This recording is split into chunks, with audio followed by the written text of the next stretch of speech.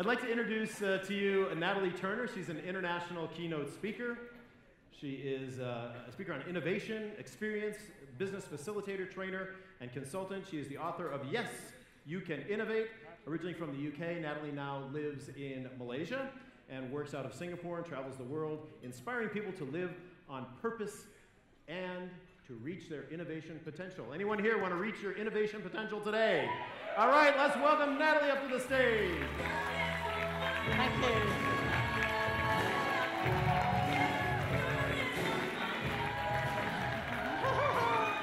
Thank you, thank you.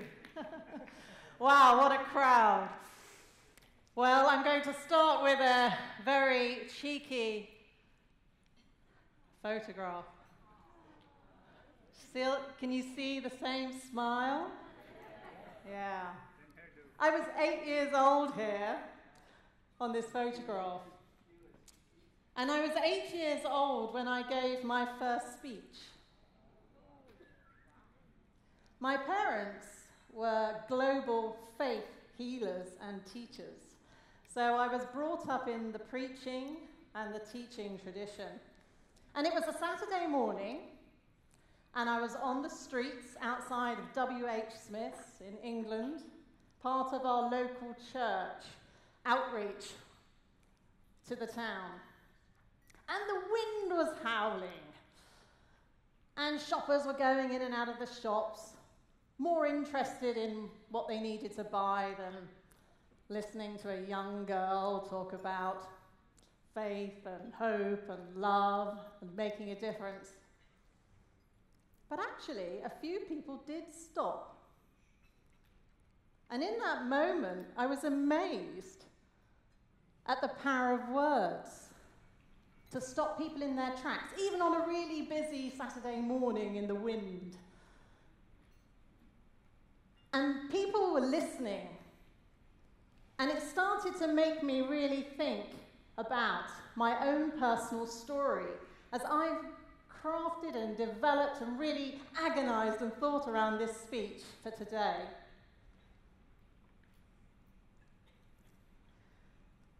So I'd like you to be thinking about your own story as much as me telling you a little bit about mine and how my, my story has evolved and developed.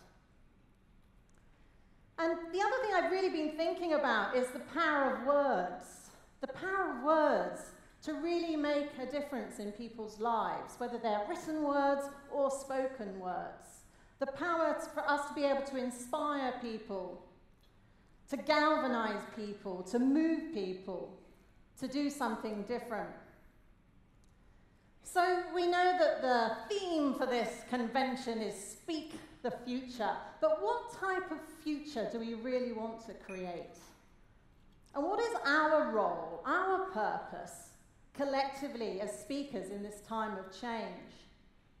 If we look historically at great speakers, people who have changed the world, and it's not just speakers, it's writers and authors and philosophers and poets and artists and musicians.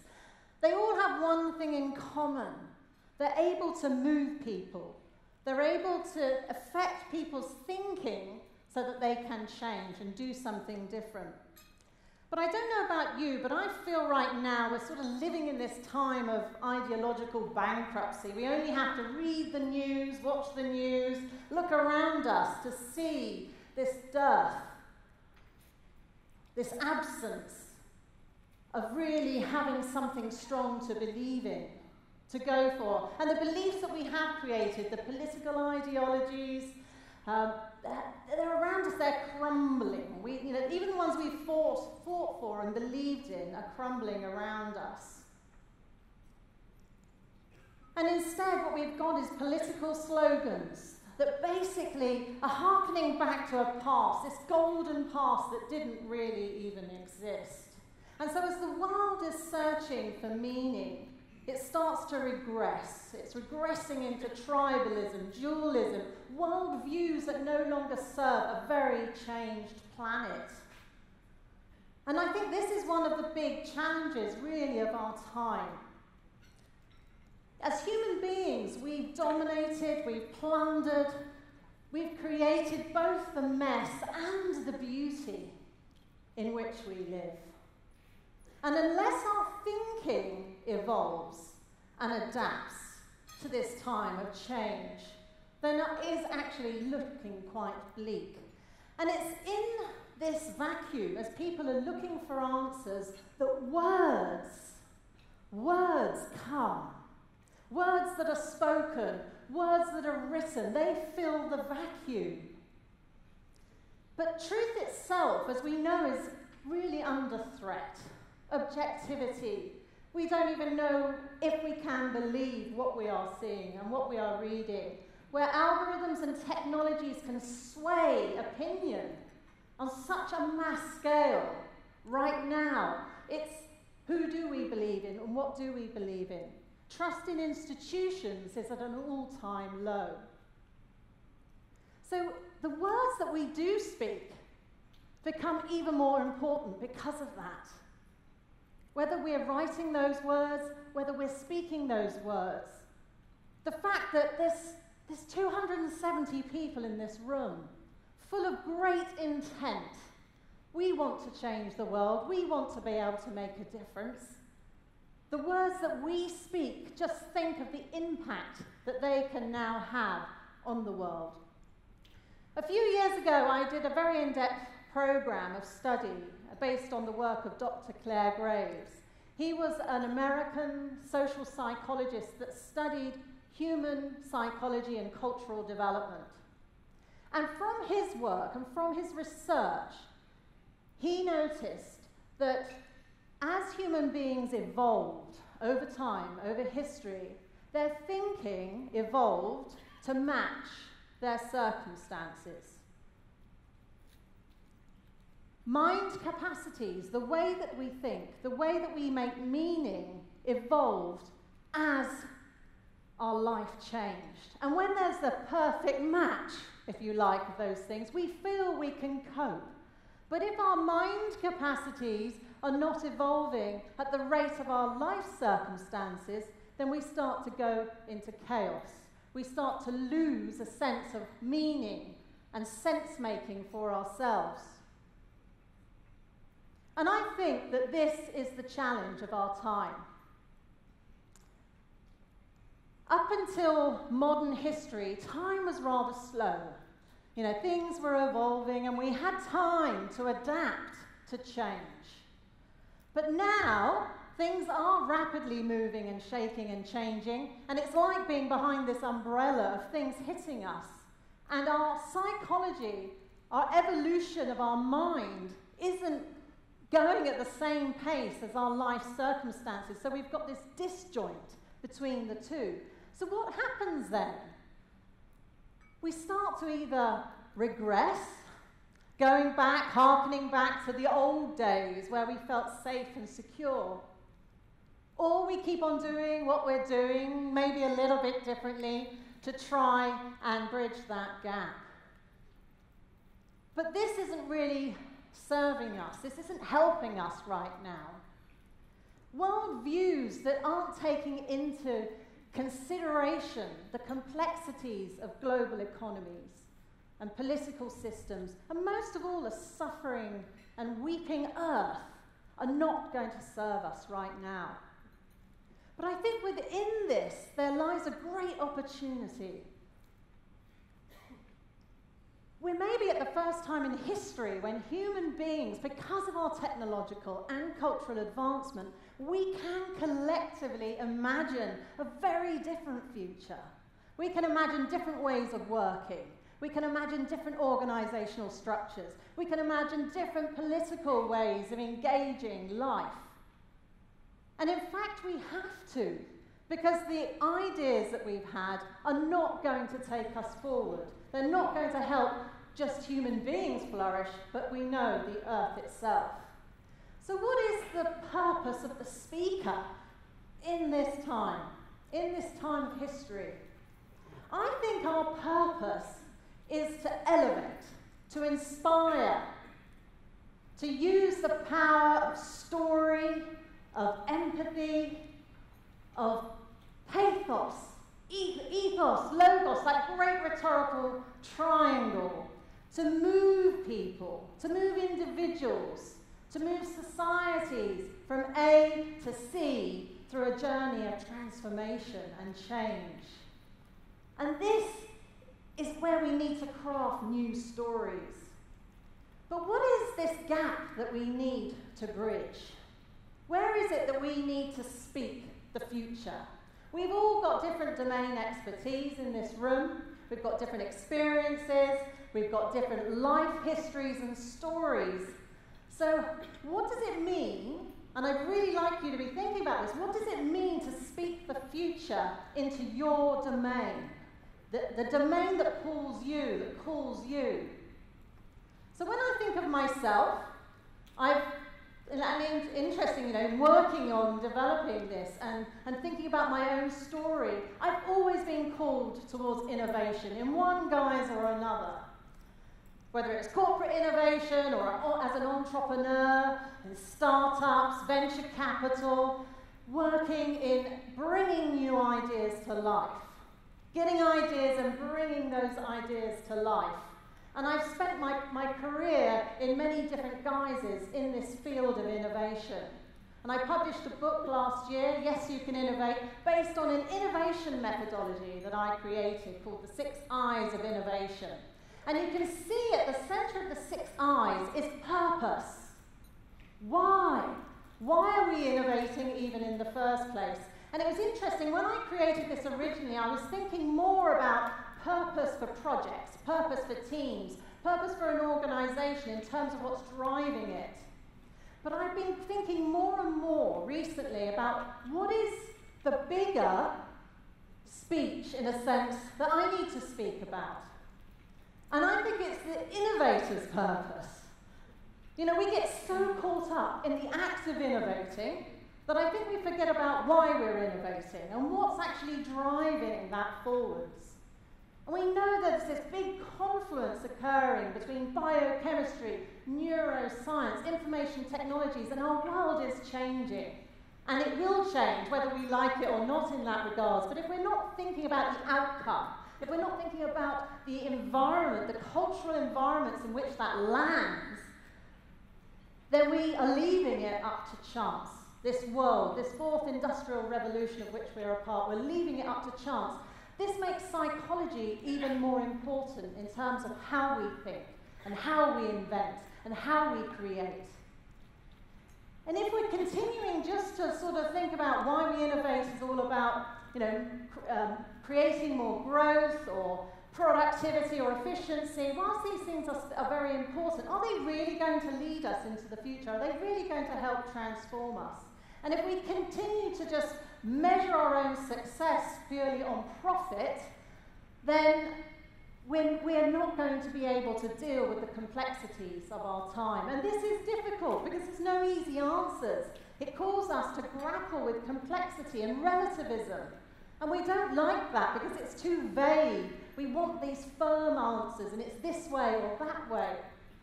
But this is really, I believe, what we're, we're being called to do. And what I'm being called to do as I work with organizations in, in trying to help them to innovate. So this goes beyond digital transformation. Actually, really, what we're looking at now is psychological disruption. And I think that's going to be increasing as more and more of the, these new things are coming into our environments. And in a way, what we have to do within that is learn how to stand in the gap for people, to hold that space for people, to, to uh, enable them to go through these journeys of transformation. Going back to my story, I, I experienced probably the first quite big disruption in my own psychology, in my own belief system. Remember, I was brought up by faith healers. I had a very unconventional upbringing. It was great listening earlier to Darlie and her story. Know, my parents took me out of school. And that was a long time ago. That was 40 years ago. Can you imagine? They took me out, out of school and we traveled around and uh, they were preaching and teaching around the world. And then when I was 19, I went to work in Bogota, in Colombia, with street children. And it was there that I, I really was confronted in terms of my own belief systems. Because faith teaches are very much this is the way. This is the way you've got to believe. This is the way you've got to, got to live your life. And working in Bogota, seeing children shot under bridges at night, babies drinking Coca Cola mixed a little bit with milk in, in their shanty towns, walking in and, and seeing a, a dead baby, and the father saying, Don't worry, we'll have another one. I saw so much things that confronted my own reality, and I couldn't make sense anymore. Things didn't make sense anymore. And so I went on my own journey of looking at different types of content, different types of beliefs.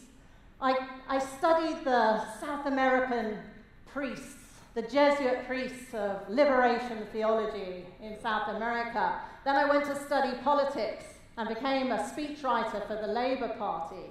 Then I studied economics, development economics, and social psychology, and got more into thinking about how do we export democratic systems and worked within politics. And then I started to work more into business. So it's like I was on a search, and I think we've all had these types of journeys where we're seeking and searching for answers. But oftentimes we're seeking for those answers in the same psychological construct in which we had before. It's like we're replacing a content into the same container. And we know now that what the most sought after skills are that organizations are looking for is this ability to adapt, this ability to change, this ability to think laterally and creatively to solve complex problems. And here, hearing that even on the panel today, the ability to build relationships, to empathize, to understand. These are the things, but they're not textbook subjects. They're not things that we can just learn in school or we can learn in college. They're things that we have to go through in terms of life. In a way, we have to go on our own hero's journey. We have to have our own dark night of the soul and be with other people as they go through theirs and experience their own forms of disruption. So when I think of this in the context of innovation, I think of the paradigm shift, really, that needs to occur. It's not just about product innovation or service innovation or process innovation. It's actually more about cultural and societal innovation. It's thinking more about the container in which these things are emerging and growing and really spending some time thinking about that.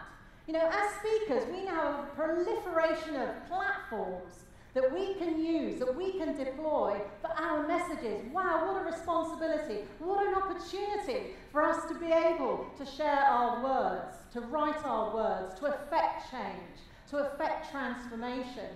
And in fact, I think we need to be thinking about this more we need to be consciously thinking about what type of words we're putting out into the atmosphere that artificial intelligence technologies can take.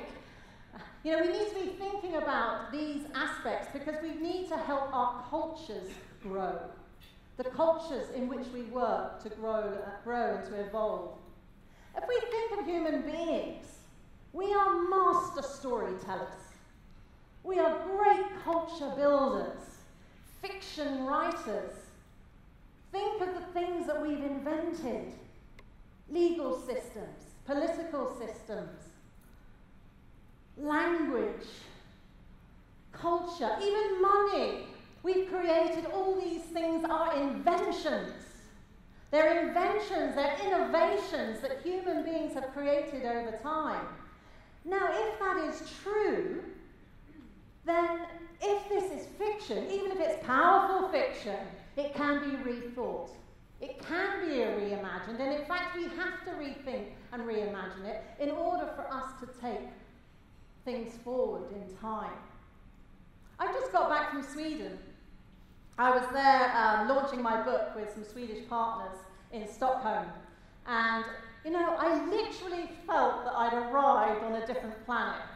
I haven't been to Stockholm for a while, um, and it was just such a, a, an awakening.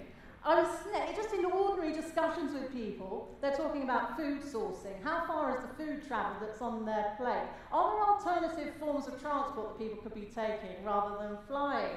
And the recycling bins had so many different compartments. I was, I was dizzy and confused looking at them. I had to get my friend to explain uh, which, which type of thing goes into to, to what. And then there was Greta. Greta, a 16 year old child who's now become quite a global phenomenon as a speaker. And if you haven't seen her TEDx um, talk, then I really recommend it. She did it last year in Stockholm. And she's sort of leading this rallying strikes around the world with school, school kids. There seems to be a theme today. You know, children are coming up, the youth keep coming up in, in our different speeches.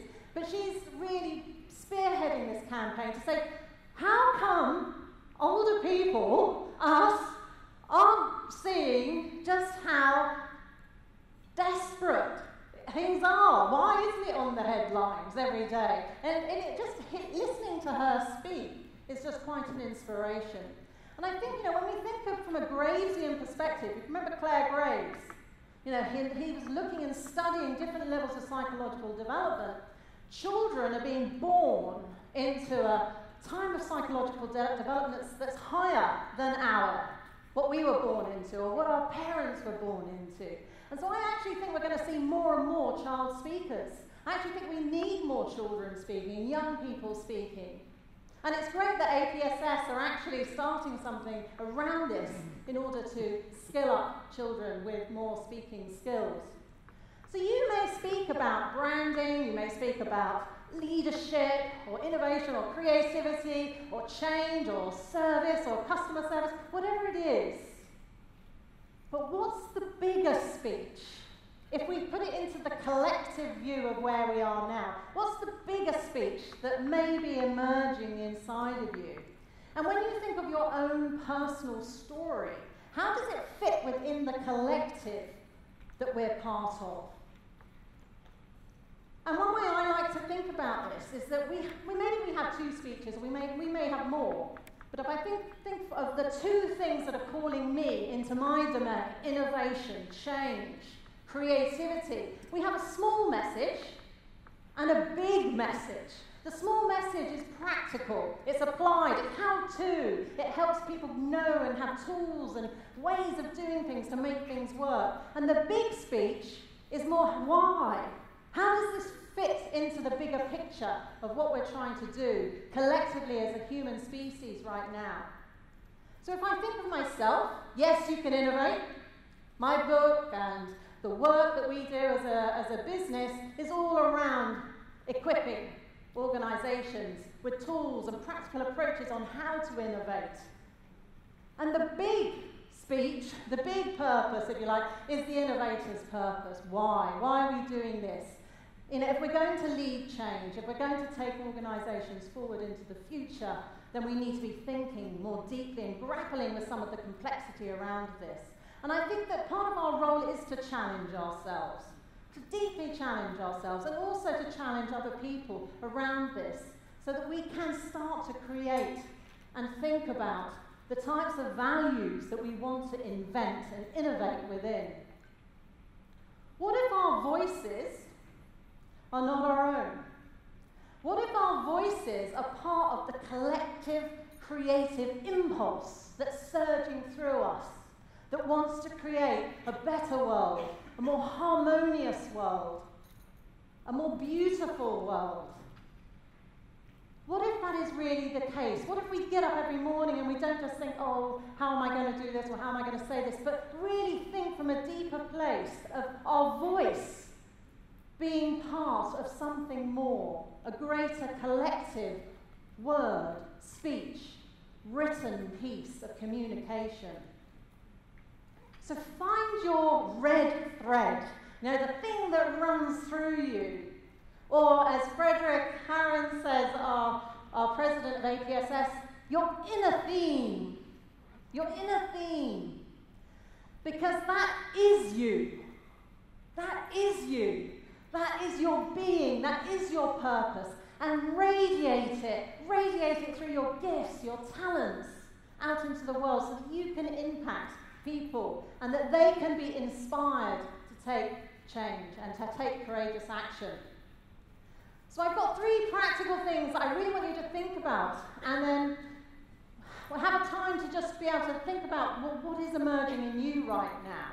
Wherever you are in your speaking career, if you're already playing the game at a very high level, if you're exploring whether you want to do it, or if you're a speaker just in your organization, it doesn't matter. We are all communicators.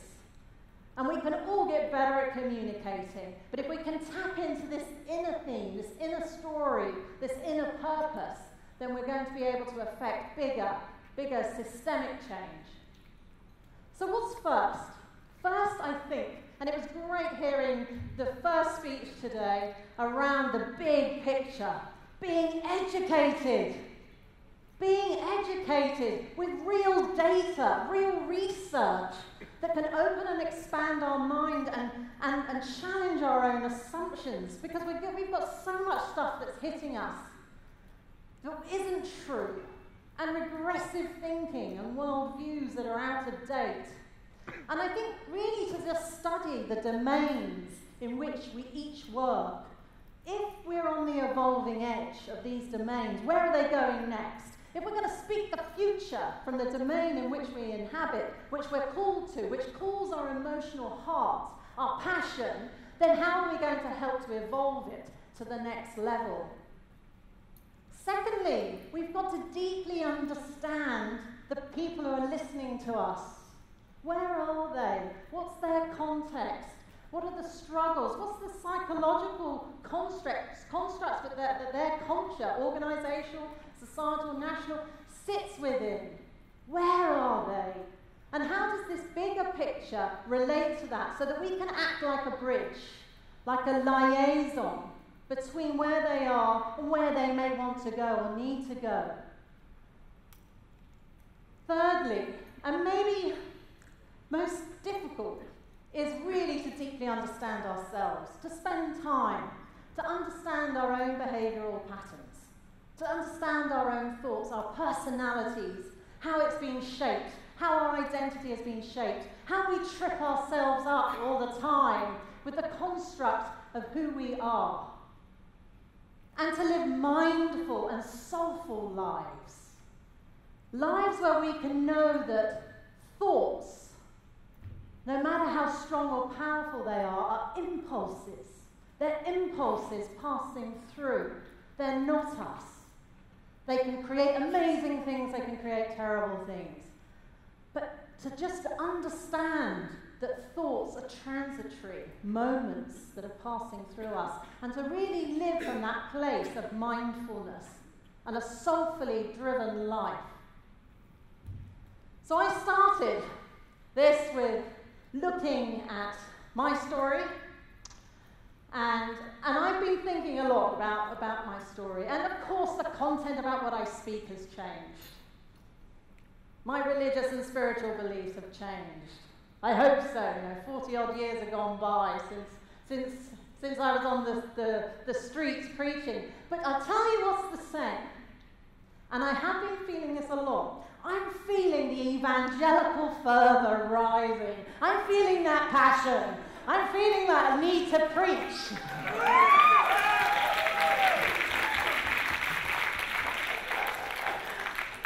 and, and that's I've had all my life, but it's only now it's starting to really, really grow inside of me.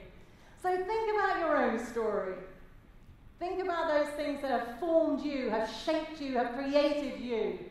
And my parents were crazy. They still are. They're in their 80s. They're, they are the most curious explorers.